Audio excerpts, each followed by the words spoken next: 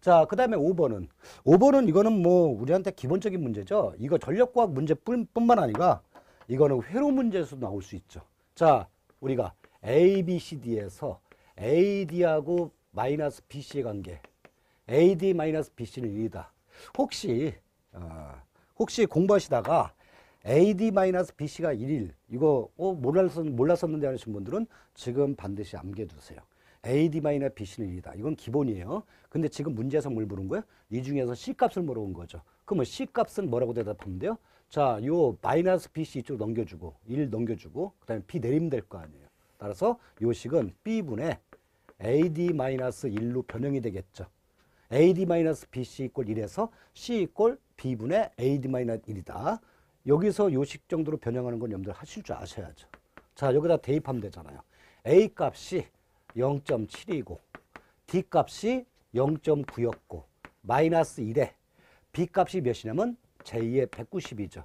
따라서 여러분들은 이것만 계산해 주면 정답은 마이너스 계산기로 한번 계산해 보세요. 아, 마이너스 1, 제2의 1.9 곱하기 10의 마이너스 4승 나온다.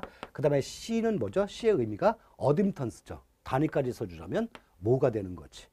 자, 그래서 정답은 3번. 자, 그 다음에 6번 문제는요. 부하의 역률이 어, 0.8인 선로의 저항 손실은 지금 문제가 역률 주어졌고 저항 손실, 즉 전력 손실 주어진 거죠. 자, 근데 역률이 0.9로 바뀌었단 말이에요. 자, 요 문제 풀기 전에 아, 약간 참고 사항. 자, 전력 손실과 역률의 관계. 만약에 삼상, 삼상이라도 해도 되고 단상이라도 괜찮아. 결과는 똑같기 때문에 만약에 삼상이라 한다면 3i 제곱 r이 우리가 전력 손실 식이죠. 그 다음에 여기서 전류 i는요.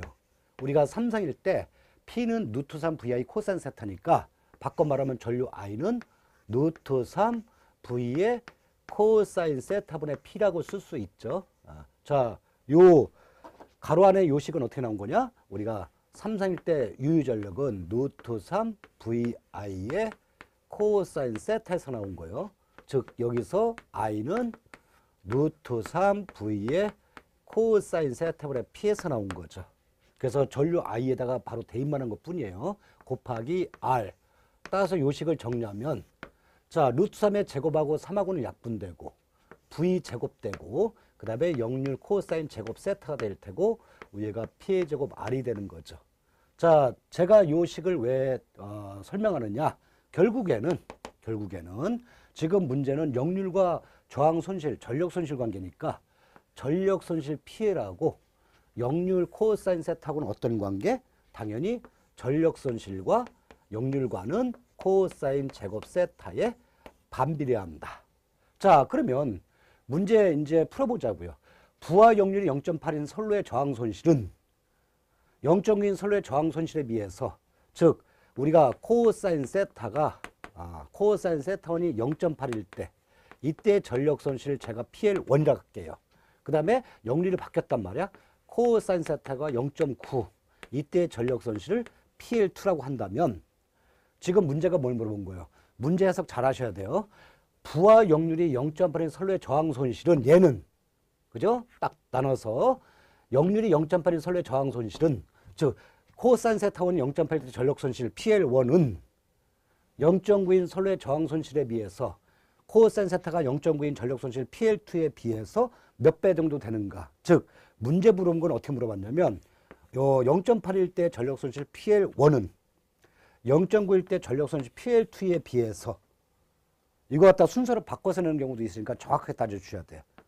몇 배가 되겠는가? 그러면 제가 역률은 어, 전력 손실은 역률하고 제곱에 반비례한다고 그랬잖아요. 따라서 어떻게 되겠어요? 자, PL1이니까 역률 코사인 세타원이 밑으로 내려가야 되고 PL2니까 얘가 역률 코사인 세타두고 위로 올라가야죠. 반비례하니까 그 다음에 제곱이고 그럼 여기다 대입만 하면 될 거 아니에요.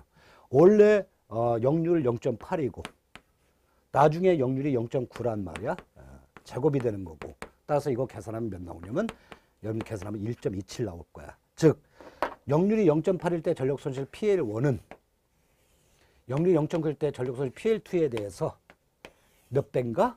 1.27배더라. 정답은 3번에 1.27배.